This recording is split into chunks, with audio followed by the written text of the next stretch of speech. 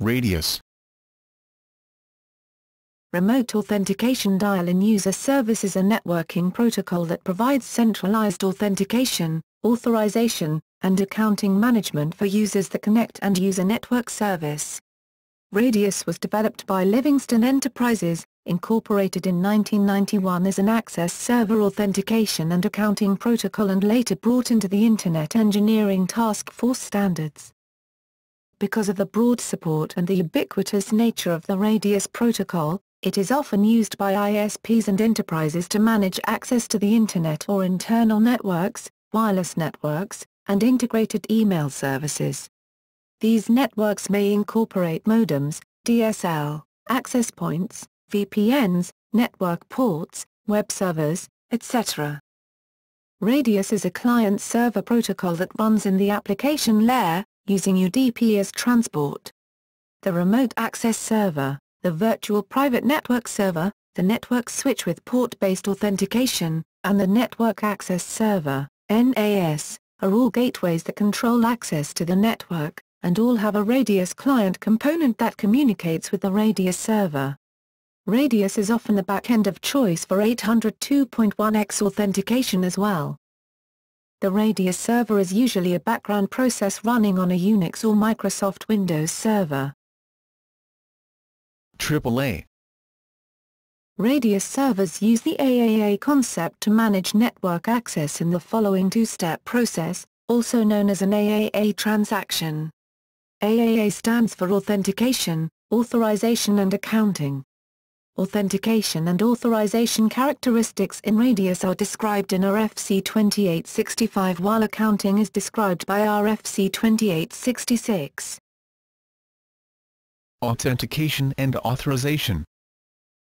The user or machine sends a request to a remote access server, RAS, to gain access to a particular network resource using access credentials.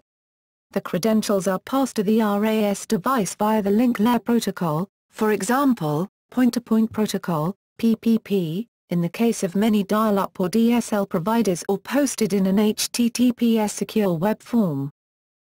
In turn, the RAS sends a Radius access request message to the Radius server, requesting authorization to grant access via the Radius protocol. This request includes access credentials, typically in the form of username and password or security certificate provided by the user.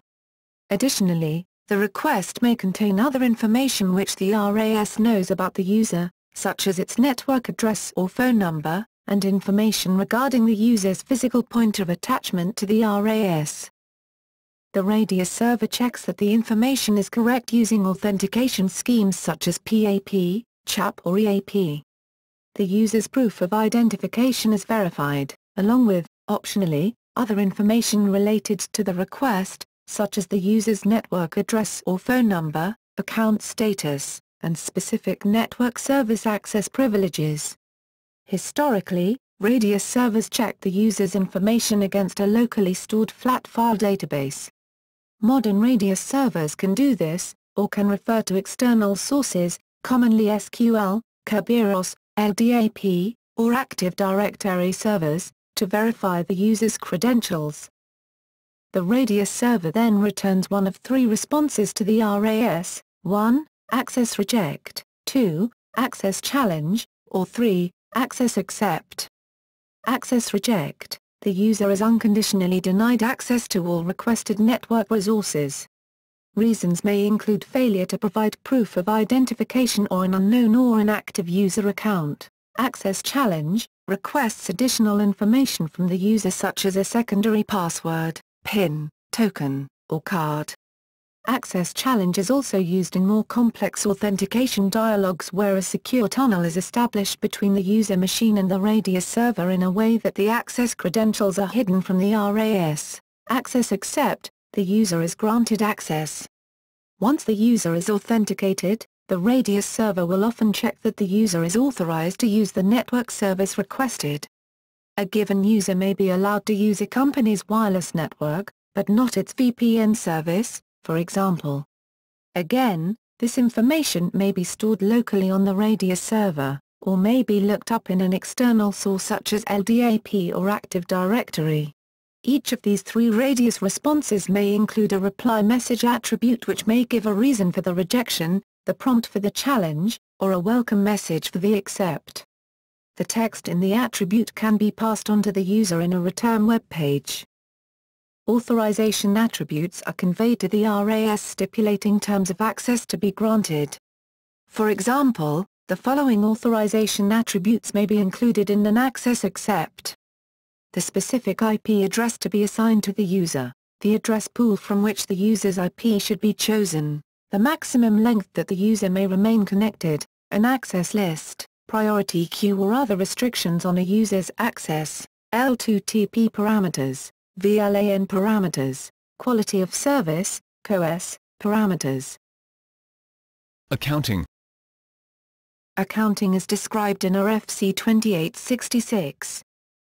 When network access is granted to the user by the NAS, an accounting start, a radius accounting request packet containing an ACCT status type attribute with a value start is sent by the NAS to the radius server to signal the start of the user's network access. Start records typically contain the user's identification, network address, point of attachment and a unique session identifier. Periodically, interim update records, a radius accounting request packet containing an ACCT status type attribute with a value interim update may be sent by the NAS to the radius server, to update it on the status of an active session. Interim records typically convey the current session duration and information on current data usage. Finally, when the user's network access is closed, the NAS issues a final accounting stop record a radius accounting request packet containing an ACCT status type attribute with a value stop to the radius server, providing information on the final usage in terms of time, packets transferred, data transferred, reason for disconnect and other information related to the user's network access. Typically, the client sends accounting request packets until it receives an accounting response acknowledgement, using some retry interval. The primary purpose of this data is that the user can be billed accordingly. The data is also commonly used for statistical purposes and for general network monitoring.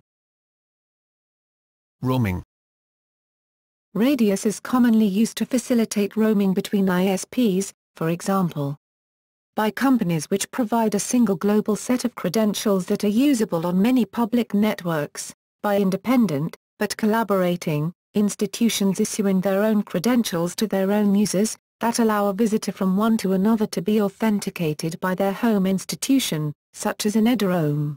Radius facilitates this by the use of realms, which identify where the Radius server should forward the AAA requests for processing. Realms A realm is commonly appended to a user's username and delimited with an at sign, resembling an email address domain name. This is known as postfix notation for the realm. Another common usage is prefix notation, which involves prepending the realm to the username and using backslash as a delimiter. Modern radius servers allow any character to be used as a realm delimiter, although in practice at and backslash are usually used. Realms can also be compounded using both prefix and postfix notation, to allow for complicated roaming scenarios.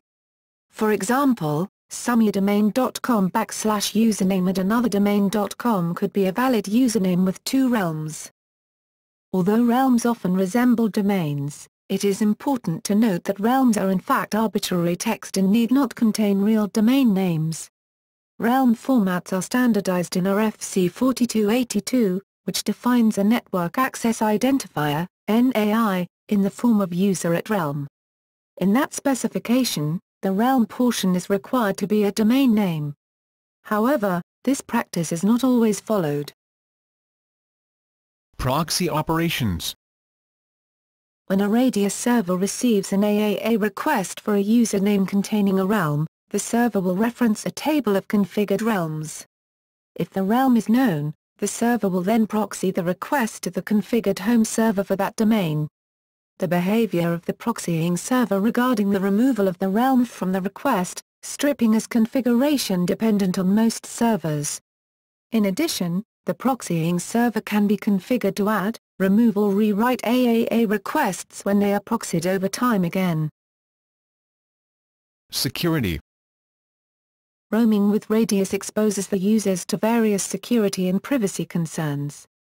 More generally, some roaming partners establish a secure tunnel between the Radius servers to ensure that users' credentials cannot be intercepted while being proxied across the Internet. This is a concern as the MD5 hash built into Radius is considered insecure. Packet structure The Radius packet data format is shown to the right. The fields are transmitted from left to right, starting with the code, the identifier, the length, the authenticator and the attributes. Radius codes, decimal, are assigned as follows. The identifier field aids in matching requests and replies. The length field indicates the length of the entire radius packet including the code, identifier, length, authenticator and optional attribute fields. The authenticator is used to authenticate the reply from the radius server, and is used in encrypting passwords. Its length is 16 bytes. Attribute value pairs The radius attribute value pairs, AVP, carry data in both the request and the response for the authentication, authorization, and accounting transactions. The length of the radius packet is used to determine the end of the AVPs. Vendor-specific attributes Radius is extensible.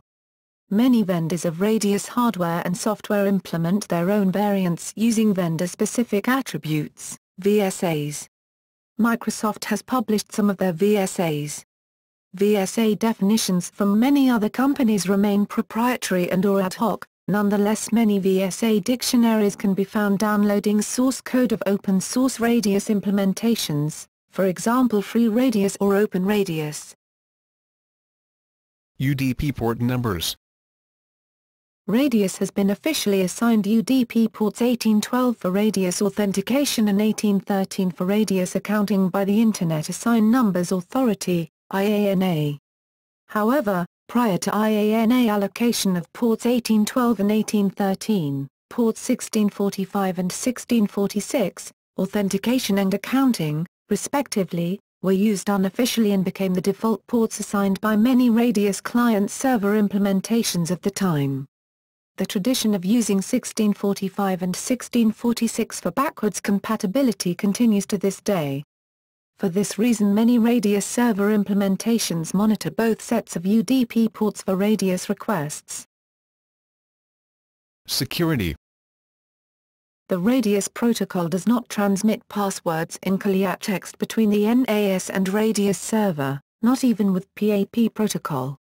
Rather, a shared secret is used along with the MD5 hashing algorithm to obfuscate passwords. Because this particular implementation is not considered to be a very strong protection of the user's credentials, additional protection, such as IPsec tunnels or physically secured data center networks, should be used to further protect the radius traffic between the NAS device and the radius server.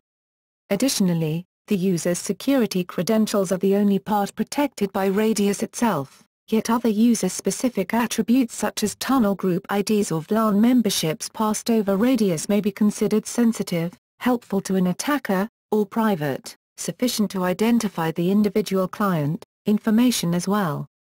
The RADSEC protocol claims to solve aforementioned security issues. Radius history Radius was originally specified in an RFI by Merit Network in 1991 to control dial-in access to NSFNET. Livingston Enterprises responded to the RFI with a description of a Radius server. Merit Network awarded the contract to Livingston Enterprises that delivered their Portmaster series of network access servers and the initial Radius server to Merit. Radius was later, 1997, published as RFC 2058 and RFC 2059, current versions are RFC 2865 and RFC 2866. Now, several commercial and open-source Radius servers exist. Features can vary, but most can look up the users in text files, LDAP servers, various databases, etc. accounting records can be written to text files, various databases, forwarded to external servers, etc. SNMP is often used for remote monitoring and keep alive checking of a Radius server. Radius proxy servers are used for centralized administration and can rewrite Radius packets on the fly, for security reasons, or to convert between vendor dialects. The diameter protocol was intended as the replacement for Radius. While both are authentication, authorization, and accounting, AAA, protocols, the use cases for the two protocols have since diverged. Diameter is largely used in the 3G space. Radius is used elsewhere. One of the largest barriers to having diameter replace radius is that switches and access points typically implement radius, but not diameter. Diameter uses SCTP or TCP while radius typically uses UDP as the transport layer. As of 2012, Radius can also use TCP as the transport layer with TLS for security. RFCs. The Radius protocol is currently defined in the following IETF RFCs. Obsolete RFCs are indicated with strikethrough text.